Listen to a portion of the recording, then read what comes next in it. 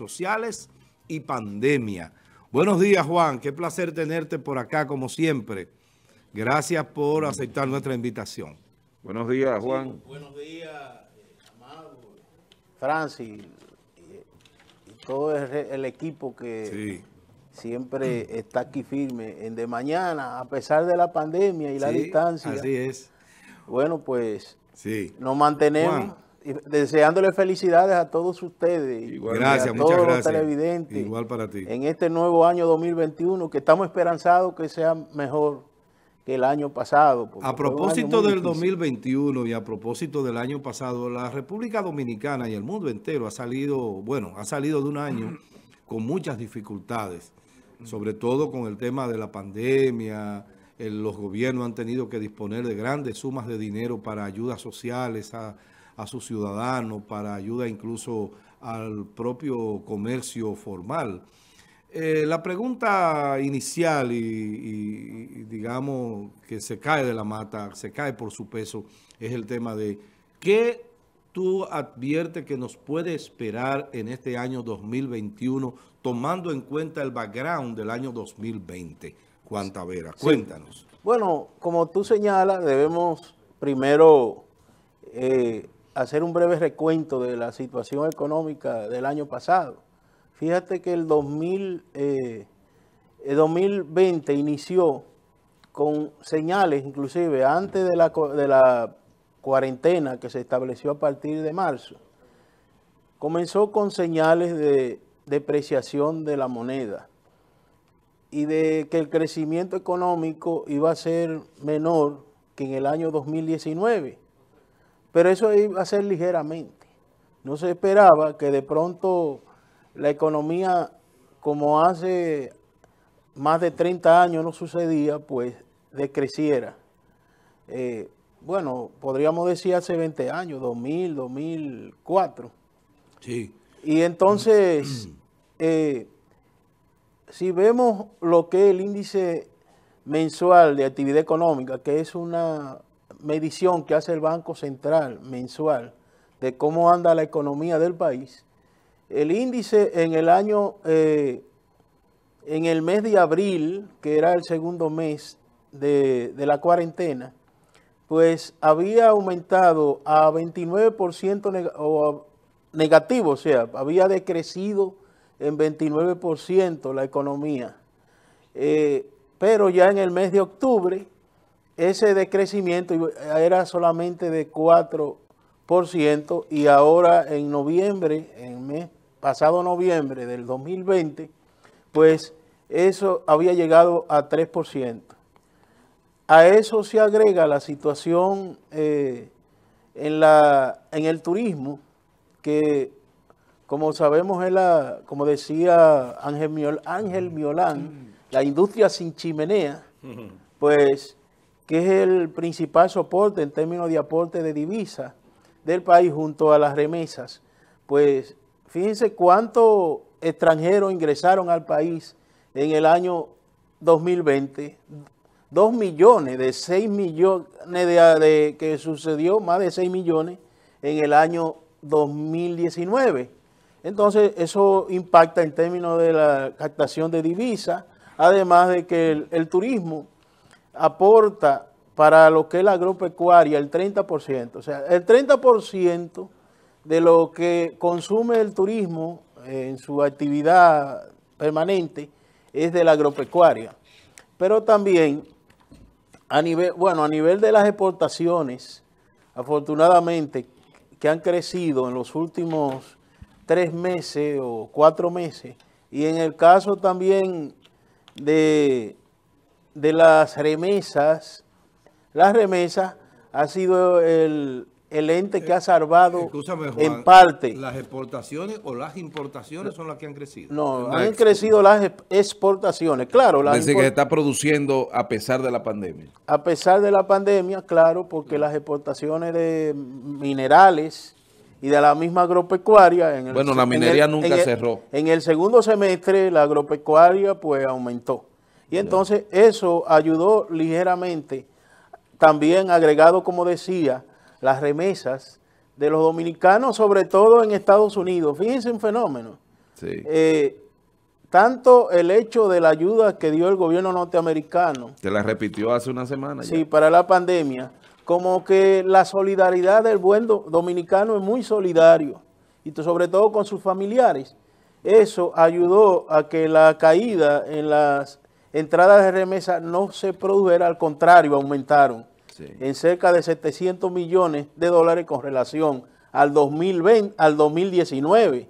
Entonces, y, pero las expectativas para el 2021 son que la economía se va a recuperar. Fíjate, en el momento más difícil de la crisis, a final de marzo, principio de abril, yo escribía un artículo que decía que iban a ser unos meses muy difíciles, pero que ya a, a final de año las cosas iban a cambiar, que la gente no podía pensar que esto iba a ser para toda la vida y que entonces el proceso de recuperación se iba a ir dando, como ya se hemos dicho con las estadísticas, cómo han ido mejorando. El crecimiento de la economía, que en el año 2019, lógicamente, fue de un 5%, en este año es todo lo contrario, un 3% negativo producto de la situación de la pandemia. Pero ya las expectativas que hay para el próximo año es que el turismo va a ir recuperándose. Ya en los últimos tres meses teníamos un 50% que anteriormente era cero, o 20, y después 20, 25%. Ya a final de año el turismo pues representa el 50% de lo que era en el año, comparado con era en noviembre, digamos, del año pasado. Entonces, pero también eh, la minería, las expectativas es que siga creciendo, la agropecuaria, y según las proyecciones que hace el Banco Central, a partir del análisis estadístico y los índices proyectados, como decía, índice de, mensual de actividad económica, pues se prevé que la economía se recupere y llegue a los niveles anteriores del 2018, 2019, de un 6% el crecimiento de la economía. Además, con los programas que hay, que se extiende el, programa FASE y la promesa del gobierno de extender a, más personas el programa de Progresando con Solidaridad, pues pensamos que eh, eso va a ser también un, nivel de recuperación. Pero nosotros nos concentramos más en lo que son las variables eh, macroeconómicas, que son el soporte de la economía, porque los programas de ayuda son programas que tienen un impacto, pero el impacto va a depender siempre de cómo funciona la economía y cómo el gobierno aplica estas políticas para generar empleos. Porque la política de ayuda social, si no se complementan con eh, promoción de actividades productivas, sobre todo en la pequeña empresa, pues se pierden en, el tiempo. Precisamente, me preocupa eso. Usted da unos datos que prácticamente nos está dando una esperanza y muy halagüeñas noticias de recuperación, pero hay un punto ahí con respecto que tiene que ver con el consumo. Las remesas que usted da, que fue, para mí, digo yo que las remesas fueron el, eh, el rey que nos mantuvo a flote. Prácticamente decimos que fue la que creció con relación a, los demás sectores. Definitivamente. Pero viendo el en qué influye para la calidad de vida a futuro esta remesa. Porque lo que he visto aquí es que ha habido un desbordamiento de consumo de alcohol, de bebida, de prarranda, gasolina. Sí, pero eso no es malo. Bueno, para la economía no es malo para porque se moviliza. En, general es importante y eso... ¿Y esos consumidores volverán a hacer lo mismo en poco tiempo? Bueno, eh, tú sabes que hay una situación y es que es normal que producto de la celebración de Navidad, que aunque hubo limitaciones, sin embargo, la gente se desbordó percibe que puede y celebró. se mantenga estable a pesar del gasto innecesario. Sí, es lógico que entre los primeros meses del año, sobre todo enero y febrero, haya una reducción del consumo. Eso es estacional, producto de que la gente primero gasta, digamos, hasta lo que no tiene, por, decirlo así, para poder eh, mantenerse, eh, para poder mantener sus tradiciones, porque el dominicano, una característica nuestra es que queremos mantener siempre nuestras tradiciones. Y qué bueno que eso se dio, porque en medio de la situación de tantos meses confinados, la gente pudo expresarse, aunque algún riesgo sí se dio, por ejemplo, bueno, mi familia, nosotros hacemos una tradicional encuentro de las familias que están... Eh, Ustedes son dos o tres. Sí, bastante. Entonces, ¿qué hicimos? Pues el día 31 se hace esa celebración en mi casa, eso es tradicional de hace años. Pero se hizo. Y lo hicimos virtual. Ah, ok. Y cada quien estaba reunido en su casa celebrando con música, cena, eh, bebida y celebrando, bailando. Entonces lo hicimos virtual. Entonces, ¿qué pasa? Eso por eso quiero decir que el dominicano como quiera celebra. De alguna manera, aunque esté confinado, no se echa a la, a la tristeza y a la depresión. Y eso por eso que dicen que nosotros somos uno de los países más felices del mundo. Tú sabes que hay una, un famoso eh, eh, anuncio de un ron que lo hacía Coquín Victoria. Decía, el dominicano le encanta un can y hace una fiesta en cualquier lugar y por cualquier cosa. El dominicano celebra, porque alguien me preguntaba que por qué en las estadísticas mundiales se habla de que nosotros somos uno de los países más felices del mundo. Y yo lo que pasa es que el dominicano, el jornalero, por ejemplo, el hecho de conseguir... Eh, la, el dinero para la comida del próximo día, eso lo celebra. Entonces... Y se bebe un pote. Sí, por eso, para celebrar, jugando dominó. En un país que, y un país que hacen un, un post que dice, se ha confirmado que los Reyes Magos dieron positivo al COVID-19 y que la vieja Belén se encuentra en eh, cuidados intensivos. bueno, esto viene feo. Ayer había que hacer fila en todas las tiendas. Esto viene feo. Pero mire, el fenómeno de la tasa de cambio, que generalmente en, en, enero aumenta, entre enero y febrero la tasa de cambio aumenta. ¿Por qué? Porque resulta que en Navidad, toda la, tú mismo lo has dicho, la gente se desborda consumiendo y entonces los, eh, los importadores tienen que abastecer el, el comercio con nueva mercancía y eso requiere de mayor cantidad de divisas, de demanda de mayor cantidad de divisas. Por ejemplo, en enero del 2020 la tasa de cambio estaba al entrar el año, primero día como ahora, a menos de 53 pesos por un dólar y ahora ya en diciembre estaba a 58. Pero ¿qué pasa? Que generalmente, de manera normal, y nadie dice ya entre enero, en febrero y abril, la tasa de cambio se estabiliza de nuevo pero ahora hubo una depreciación de la moneda en este año de más de un 8%, que hacía años no se daba ese fenómeno.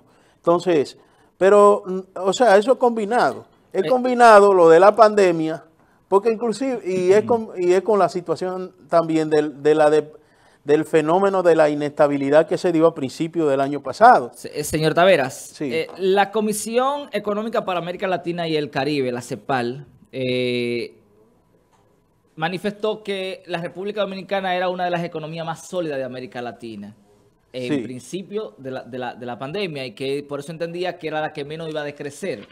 ¿Cómo sucedió finalmente? Sin embargo, el gobierno eh, actual, cuando llega, dice que encontró un país totalmente quebrado. Vemos también que el presidente eh, Danilo Medina dijo que dejó una cantidad, creo que unos 8 mil millones, ¿verdad?, en, en, reserva. Eh, en reserva en divisas. Exacto, en divisas. Vemos también que se, que se han colocado eh, eh, bonos. ¿Cómo se, ¿Cómo se le explica esto a la gente? ¿Qué hay de cierto en una cosa? ¿Qué hay de cierto en otra? ¿Tenía eh, la, la CEPAL razón con, con, relación a la robustez de la economía dominicana? Claro que sí. Lo que pasa es que los gobiernos, cuando hay cambio de gobierno, quien viene siempre manifiesta, y eso es histórico en nuestro país, que encontró una situación calamitosa. Primero para sensibilizar a la gente, para que asimile las medidas que tiene que tomar. Por ejemplo, los préstamos. Un gobierno que en su oposición criticó los, los préstamos del gobierno anterior y entonces ahora para justificar eso, para sensibilizar a la gente, tiene que decir que encontró una situación peor que la que realmente es. Pero en primer lugar, una pregunta ahí eh, mismo, Juan. ¿Se podría sortear la, el inicio de un nuevo gobierno, darle continuidad a las medidas preventivas, darle continuidad a la inversión de salud, darle la continuidad a los fas, a las fases. No tenía el Estado o Danilo Medina dejó la caja fuerte con el dinero suficiente, teniendo incluso un año donde las, la caída de, de la recaudación fiscal fue real, se podría el Estado Dominicano en las condiciones que recibió y el dinero que tenía disponible sortear la suerte de la República Dominicana. Sí, pero resulta- ¿Se podía? Se recuerda. No, no, si se Sí. podía, sí No, o no. Podía, oye. pero- Lo que pasa es que No, estamos... porque que me va a influenciar porque veo que hay un careo, un asunto de que, de, de que hay eh, eh, eficiencia económica de Pero lo que pasó momentito. del año pasado para Eh, acá. con, con- Perdón. con el permiso del Perdón. entrevistado, Vamos yo a la respuesta del invitado, Mire, por mire, favor. Vamos déjeme a la decirle. respuesta del Pero que me diga. Adelante, Oye, Juan. Adelante, Francis, Juan. Francis. Dime, Juan. Que el economista eh, quiere tú. el gobierno, Sí, que me diga. el si gobierno tenía dinero. Se mantuvo enfrentando la situación de la pandemia. O sea, ¿y cómo lo hizo? Aumentando el endeudamiento del país. ¿eh? Ah. Justificó para acelerar, porque también recuerda que era un, un proceso, había un proceso electoral Correcto. municipal, congresional Y, y campaña pura. Pero Y entonces, que responda. parte Pero de los yo estoy recursos, comentando mientras él parte está de los contestando, yo no recursos estoy públicos, de los recursos públicos, tanto del presupuesto como de, de la de endeudamiento, se utilizaron para campaña. Eso no podemos nosotros ocultarlo. Ya. Eso es verdad. Ahora, el gobierno eh, ahora que asume el 16 de agosto, sigue el modelo de endeudamiento. O sea, eh, sigue endeudando el país para poder sostener la situación.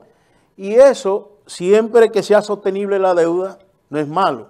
El problema está que si hay un, un festival de endeudamiento y eso puede provocar a futuro situaciones de inestabilidad eh, en, la- en lo que tiene que ver con, la, con las reservas internacionales, con, la, con el problema de la inflación. Entonces, ahí sí nosotros debemos preocuparnos. Ahora, siempre que el gobierno pueda garantizar que esos préstamos puedan pagarse y que puedan renegociarse, porque ahora hay unos bonos que se renegociaron fue, Sí. para poder mantener el vigencia y para poner- poder mantener la imagen de la República Dominicana, porque los países Y no garantizar el presupuesto 2021. Exacto. No solamente es la- el problema de que el país se endeude más en, en el presente, sino que a futuro, primero, se pueda garantizar el pago de la- los intereses Sí. de la deuda, sobre todo. Y también que se pueda eh, mantener una imagen de, prestigio de que la economía está estable. En los Eso es lo más de importante. de la deuda. Sí, lo más importante es que la economía se mantenga estable. Siempre que se pueda mantener la economía estable, eh, el endeudamiento puede garantizar eh, resolver los problemas del país sin traumas. Ahora, si hay un límite, claro está. Ya se está hablando de que puede, podría pasar en proyección hacia 2021, como van las cosas, que el, el endeudamiento represente el 70% del Producto Interno Bruto. Es decir, cuando era menos de un 50% antes del mes de julio. Correcto, Entonces, pero una cosa, ese es un problema la media que hay que en América. Latina o en el mundo, de endeudamiento que tiene un país, lo ideal, siempre he escuchado, desde que dimos economía en la universidad y en la política, que es un 31%. Eso depende del país, Francia. del 50. Depende del país, porque Estados Entonces, Unidos tiene... Explícalo, explícalo. Estados Unidos tiene más, pasa en ocasiones más del 100% del producto, pero estamos hablando de una economía norteamericana. Pero un país como el nuestro no podría pasar más de un 50%, en la situación actual, más de un 50% del PIB en términos de endeudamiento. Si pasa de ahí, El puede comenzar, está, eh, puede comenzar a tener límites. niveles de inestabilidad y esa es la preocupación. Eh. Ya con un 70% es inmanejable. Podría justificarlo en medio de la pandemia, pero hay que pensar que a partir de que la pandemia ya eh, ceda, vamos a decir así, pues el gobierno tiene que abocarse a, a enfrentar el problema del aumento del endeudamiento. Porque eh, si se deja al tiempo y sigue el festín de endeudamiento, entonces eso sí podría provocar eh, romper con la estabilidad económica que tenemos hasta ahora y afe- puede afectar el crecimiento, lo tenemos muy cerca. Sí. Entre 2000 y 2004 una economía que se mantenía estable durante 15 años, de pronto cae en una situación de inestabilidad que, bueno, ya conocemos la historia, devaluación de la moneda, inflación. Un desastre. Desastre Eh, que, que gracias a Dios salvó eh, el años que mejor no recordarlo, Sí. pero hay que recordarlo como quiera para comparar Sí, sí. y para que sirva de espejo para el- eh, Claro. este y próximo gobierno en términos de que hay que mantener la estabilidad económica, porque la gente dice, ¿para qué mantener? Y eso es bueno que lo aclaremos. dice que si ¿Para qué mantener estabilidad económica? Si como quiera estamos mal, no. Si no se mantiene la estabilidad económica, estaremos peor. ¿Quiénes son los que pagan? Eh, y Amado, tenemos experiencia de eso, lo que pasó en 2000-2004. ¿Qué hicimos con los financiamientos que teníamos de vehículos? La clase media estoy hablando. Sí, sí. De apartamentos, de casa. Tuvimos que entregarlo inclusive Claro. porque no podíamos pagarlo. Entonces, se le Pero eso, yo estoy hablando de la la- clase la media. del Claro. pago y el pago. un y cuando bluff. tú viniste a ver, Sí, y, y los más pobres. No, no, Porque los más pobres pagan, o sea, Se- tú puedes entregar eso, el vehículo como y ustedes devolvieron también comerciantes, cerraron su puerta. Claro. También. Porque tomaron préstamo en dólares Claro.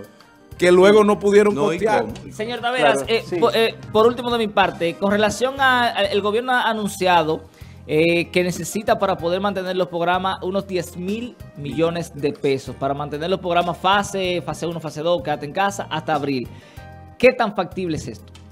Es lógico que tiene que suceder, porque un, una- un padre de familia que no está trabajando por la situación del confinamiento, Sí. no se le puede dejar desamparado. Eso no solamente por razones macroeconómicas, sino por razones humanas. Claro, claro. Y entonces, el hecho de no mantener eso, eso puede aumentar los niveles de pobreza. Pero nos país. va a endeudar más. Claro va a ser necesario sí. entonces buscar esos 10 Pero es, millones es de pesos. una necesidad, aunque endeude más el país, esas son necesidades que hay que Y cumplir. está por Claro. debajo de la, del límite todavía. Todavía está. Invítalo de Juan, nuevo. ¿qué, qué recomendación al final, como una, una expresión que pueda Economía familiar. en esta entrevista, qué recomendación tú le das al dominicano en el inicio de este año, producto de esas, esas cuestiones que tú has planteado aquí en este programa? Sí, pero la gente ha aprendido mucho, pues la gente aprende de las tragedias. Sí, eso Ha aprendido mucho en esta pandemia pensar que lo más importante de la gente es alimentación, salud, eh, y entonces el dispendio, reducirlo. Hablamos de que en Navidad hubo desbordamiento, Ay, ay, ay. pero eso es normal. Pero la gente aprendió que tiene que aprender a prevenir, a ahorrar, Así eh, a es. cuidarse, para fines de que la salud, ya la gente aprendió que es fundamental para mantener una economía, eh, su economía familiar estable. ¿Cómo no? Gracias, Bueno, muy Juan. bien, muy gracias, agradecido. Juan. Taveras, Taveras Vargas, Juan Eduvigis Taveras Vargas, mi hermano Juan Taveras, señores, economista de profesión, docente universitario, político, amigo, eh, ente social importante de esta comunidad, una personalidad hemos tenido acá hoy en este, con este tema económico.